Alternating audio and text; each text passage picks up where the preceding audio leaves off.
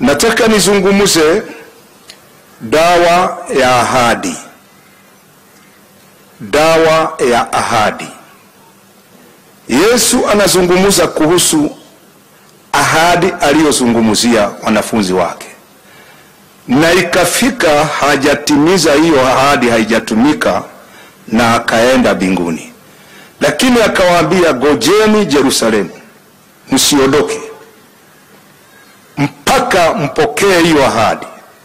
Maana dawa ya ahadi ni kugoja, na hii ndiyo inatusubua wa, watu wetu, maana hatutaki kugoja.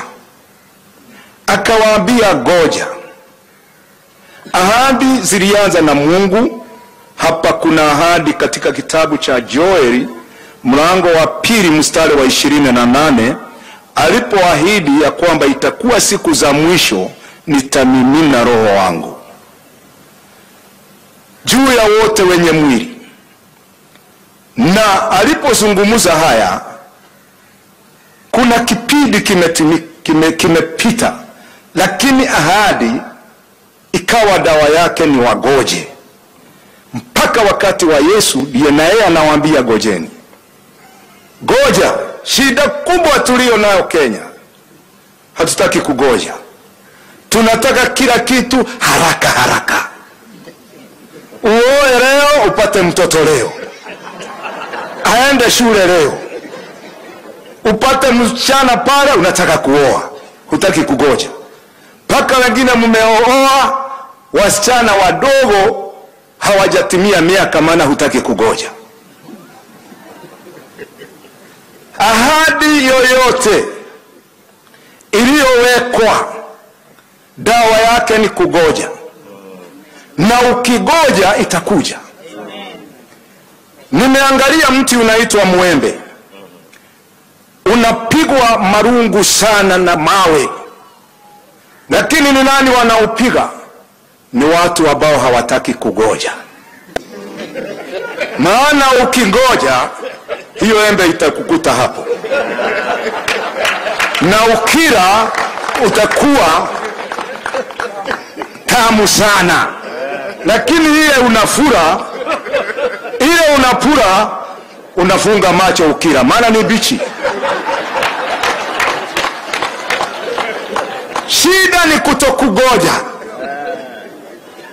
na Mungu akaniambia niwakubushe wa kenya dawa ya ahadi zote Aidha ni za Mungu au ni za serikali, ni rais aliweka dawa yake, goja goja.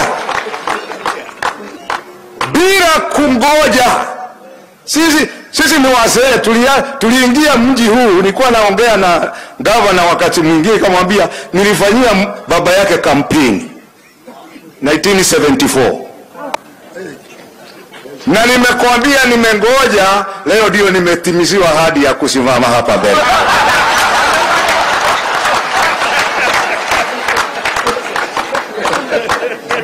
Lakini nyinyi serikali hata haijamaliza mwezi, mwaka mmoja, hata rais hajakatia kiti sawasawa, ni kufagia, anafagia ndio aketi, hajatimiza.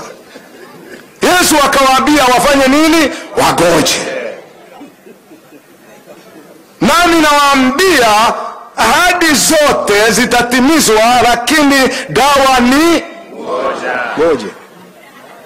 Niliitwa mojawapo ya media houses hizi zetu hapa Mombasa, nikaulizwa swali na hawa watu wa media, nyinyi ndiye mliweka serikali hii na maombi? Nikawaambia yes hata hiyo ingine itakuja tutaiweka kwa maombi. Na hauoni wewe Bisho Mwaura ya kwamba mlidanganya na mlidanganywa na nani? Na rais alidanganya yeye. Unasemaje hapo? Nikawambia nisikizeni, kama rais alidanganya atakuwa watatu kudanganya.